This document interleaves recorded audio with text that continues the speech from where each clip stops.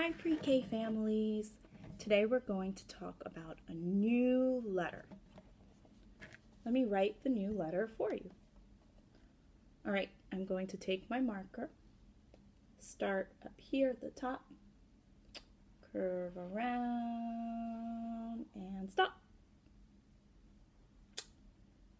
Curve around and stop. What letter is this? Letter C. Here's uppercase C, and here's lowercase c. Look at them both. Do they look kind of the same, or do they look really different? Yeah, they look kind of the same, right? Uppercase C is just bigger than lowercase c. Hey, are you ready to go on a C hunt with me?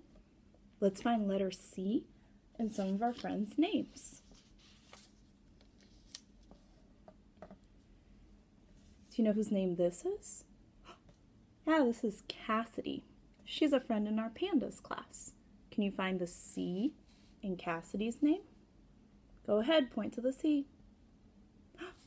Did you find it? Yeah, that's uppercase C.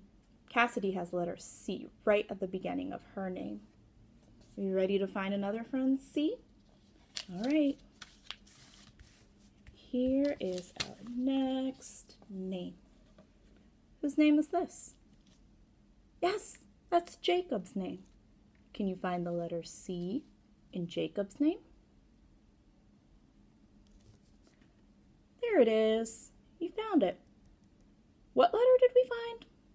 C. Good. Jacob has a C right there in the middle of his name. All right, let's find another friend's name. This is Mercy. She's a friend in the Precious Jewels class. Can you find the C in Mercy's name? Oh, great! You found it. Mercy also has a letter C in her name. And let's look for letter C in one more friend's name. This is Michael. He's a friend in the Rainbow Cats room. Can you find the C in his name? You found it. Look at that curve. Around and stop. What letter? C. Great. We found letter C in Michael's name. What letter were we hunting for? C. Good. Uppercase C and lowercase c. Now let's talk about what sound letter C makes. C makes a sound like k. C says k, like in the word cat. Hey, can you make cat claws like me? Cat and claws. Both of those words start with the k sound that letter C makes. Can I see your cat claws? Go ahead, let's make them and say the sound for letter C at the same time. Ready? Go. Ooh, great job. I really heard that sound made by your letter C. Good. C. Uppercase C and lowercase c. All right, we were so good at searching for letter C figuring out what sound letter C makes, let's make our letter C's in kind of a fun, silly way.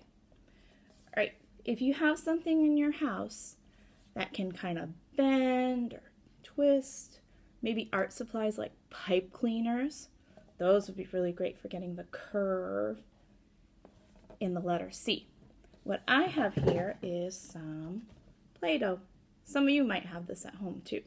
So I'm going to take this big ball of Play-Doh here and I'm just going to roll it between my hands like this so that it gets longer and longer, kind of like a snake. Make it a little longer.